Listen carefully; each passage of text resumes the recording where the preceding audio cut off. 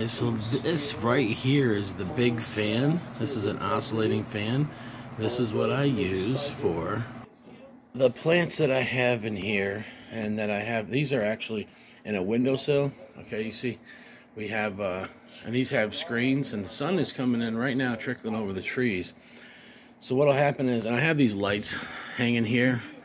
Um, all they are is there's one pink and one white. They're LED strips. And the, you know, that's to supplement because it doesn't get full sun here, but they will get a couple hours trickling through those screens, which work as a um, a shade cloth, so that they don't just shrivel up and die. So this is uh, actually, and these are very small, but this is the beginning stages of hardening off. And I'll take some other plants, but using fan for seedlings. Um, and these here, I, I got to raise them up, but as you can see, this one's wiggling.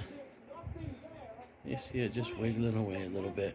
Just getting a light breeze. Uh, I will turn the fan on higher. And then this one here, this is all my extras. You see they're still in the small pots, but they're looking really good, guys.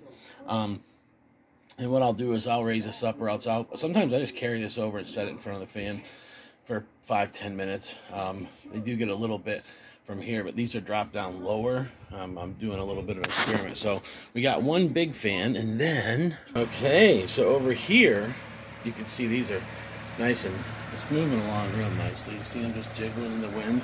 I have a smaller fan. This is a desk fan actually, and um, I can move this thing around anywhere. You guys know last year I had this hanging from the closet door, and it would swivel, um, you know, 180 degrees or at least 90 degrees. So yeah, and that's how I, and I can actually adjust this to where I want it. So yeah, I just have that plugged in there and turn it on for half hour, uh, maybe an hour a day. What about those hard to reach spaces? All right, right here, guys. Here's what it is. I have a couple of plants over here. These are the lemon spice jalapenos. Um, I'm growing for my daughter. And I ran out of a light space, so I have this light thingamajiggy from Amazon. It's cheap and it works really good. And I have this little handheld fan. All I do is just kind of set that there every day and just let it go to town. You see them jiggling. I just leave that on for a little bit. Oh, and by the way, that was like a dollar store fan that you can recharge on your phone charger. So, yeah, uh, cheap and efficient. I mean, the oscillating big fan in the living room I've had for, I don't know, over a year was probably like 30, 40 bucks, and it'll last you 10 years. Um, this little thing was, when we were cleaning out uh, my work, this was something that was in one of the closets. So I got that for free and these are probably like 15 bucks 10 bucks maybe who knows? I also have a usb fan. I haven't used that yet. I don't have any a need for it right now but it's just a little it's a little fan that's a little bit smaller than this one. So yeah using fans for seedlings. Um you don't have to have them and please do not sit there and leave a fan on them all day. Now if you're using an isolating uh, uh, oscillating fan and you have it on a lower setting um, you can do that if you guys are wondering why these seedlings look yellower than the others, it's because of the lights. These 5,000 lumen really, like, I literally sit here and think my plants are overwatered or dying. It, it, every day when I look at them, I'm like, oh no, it's getting yellow. No, I take them out and put them under a regular light and they look just like the other ones. So, yeah. I know I've seen so many pictures of people online that with with these really high lumen, especially white lights, and they'll they'll put a picture up, and I'll say, "Man, your seedling's looking a little bit yellow, buddy," but they're not. It's just the the way the light shines down on them. It's so bright. It's really hard to see that nice dark green. Look at, I even got stuff over here.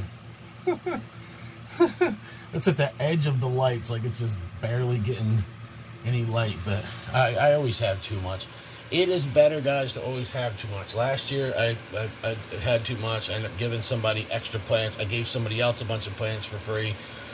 Two people. Um, one of them ended up, ended up killing all of them, and so I was like, man. I just I went by their house just to check on them, just to see. Um, but another thing, I then I, I had germinated for a friend of mine, and I had all my stuff. I had extras, no doubt but I actually overwatered a full tray, and uh, right when I did it, I knew I screwed up. But I, so I had backups like you seen in the living room, and just I'm little, you know, still in the little cells, and those ended up saving the day. I just up potted them and they were they were good. They had nice root systems and everything. Um, and sometimes you'll see that those ones in the little. So if you see that the ones in the little cells look better than these, the reason why is because I just up potted these. So they they you know they they go through like a a 24 48 you know maybe 72 hour uh, period of, of stagnation because of root, you know, just because of transplant shock.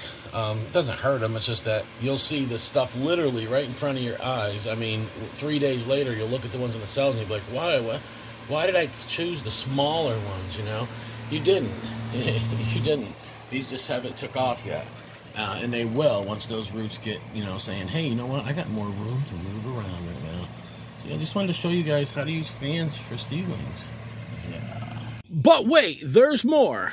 All right, so here's another thing you can do. Now look at these are the same plants, and under those uh, those those LEDs, you can see they were a little yellow looking. You can see they clearly are not yellow. I am outside right now, so this is another thing you can do is you can take your plants outside um, whenever you have time. Uh, if I mean, you still want to use fans because they're going to be inside when they're this small. Now, don't leave these out. I just threw them up on my car, so they're up somewhere high. See? and uh, so they're, they're, they're getting the best little wind action but you do not want to leave these outside for more than 15 minutes the first time yeah see them see them kind of shaking in the wind so what this is doing is this is uh, giving them natural wind um, I'm also introducing them to some UV rays right now so I'm not ready to harden these off yet but there's some strong wind yeah look at that baby go yeah yeah, look at those bad boys. So that's that's good for them right there. That makes the plant stronger, and it gets them ready for when they do go outdoors. But like I said, um, your first time outside in direct sunlight, do not leave them outside for more than 15 minutes because they will they will burn up. Um, and I will have these out here for 15 minutes exactly. This is the first time these ones have been outside. I do have another tray I brought outside once before, but you can see that nice wind action going on. The ones up here, nice wind, nice wind action. So that's good for them too. I mean, it's it's it's just. I mean, it's better than a fan, but you don't want to leave. Like I said, don't just bring them outside and set them there. You'll come back and You'll put them inside, things everything's fine, and wake up the next day and your plants will be burnt up. The first time, 15 minutes, you throw them out for half hour to 40 minutes the second time. If you're doing it the next day, and then you can throw them out for an hour and move it up to two, so on and so forth, unless you got shade cloth. So there we go. But you can see these are looking pretty good. Um, like I said, they're not as yellow as they look under them lights. Them lights just make them look terrible. Thank you guys for watching. Yeah.